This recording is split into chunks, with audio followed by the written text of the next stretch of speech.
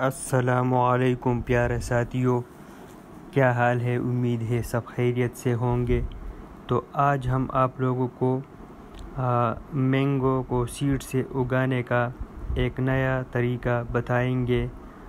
اور آپ لوگ دیکھ سکتے ہیں دوستو، ہم مینگو کو یہ اس اس کے ہارٹ شیل سے نکال رہے ہیں تاکہ یہ اس کی جرمینیشن فاسٹ ہو جائے۔ تو دوستو، ہم اس سیڈز کو کی جرمینیشن شروع ہونے تک پانی میں رکھیں گے۔ جیسا کہ آپ دیکھ سکتے ہیں، ہم اس کو پانی میں رکھ رہے ہیں۔ تو اسی طرح پانی میں رکھنے سے دوستو مینگو سیڈ کی جرمینیشن بہت فاسٹ ہوتی ہے۔ مطلب دو یا تین دن کے اندر اس کی جرمینیشن ہو جاتی ہے۔ تو دوستو، کچھ سیڈ لیے ہم نے اور اس کو پانی میں رکھ دیا ہے۔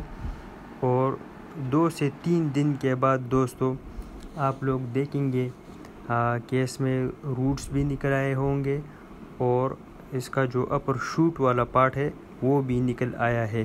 تو آپ لوگ دیکھ سکتے ہیں دوستو کافی اچھی جرمینیشن مینگو سیڈ میں ہوئی ہے۔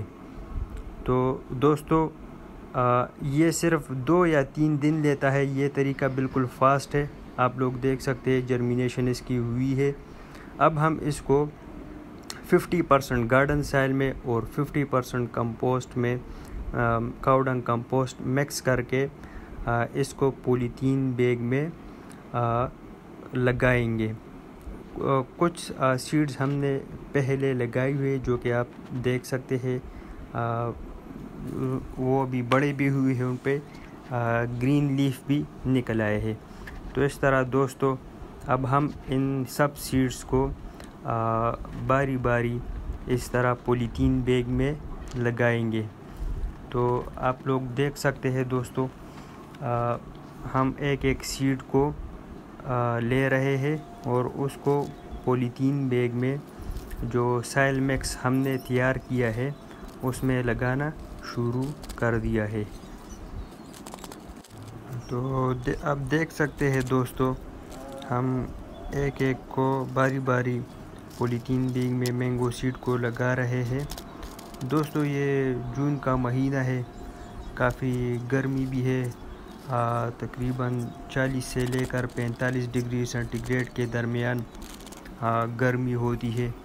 تو مینگو سیڈ اسی گرمی میں بھی کافی اچھی طریقے سے جرمینیشن کر سکتے ہیں اور گروتھ بالکل اچھی طریقے سے جاری رہتا ہے۔ تو یہ مینگو کا سیریز ہم نے دو ہزار تیئیس میں سٹارٹ کر دیا ہے۔ مزید بھی اس کی ویڈیوز آپ لوگوں کو دیکھنے کو ملے گی۔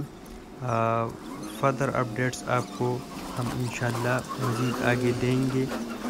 اسی طرح آپ لوگ دیکھ سکتے دوستو، ہم نے پولیتین بیگز میں مینگو سیڈز کو لگا دیے ہیں۔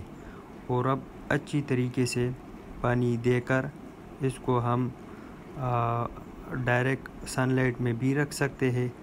اگر زیادہ سن لائٹ نہ ہو تو پارشلی بھی آتا ہو، تب بھی کچھ وقت کے لیے ٹھیک ہے، آپ لوگ رکھ سکتے ہیں۔ تو دوستو یہ سیڈز ہم نے کچھ دن پہلے لگائے تھے اور ان کی جرمینیشن بہت اچھی طریقے سے جاری ہے۔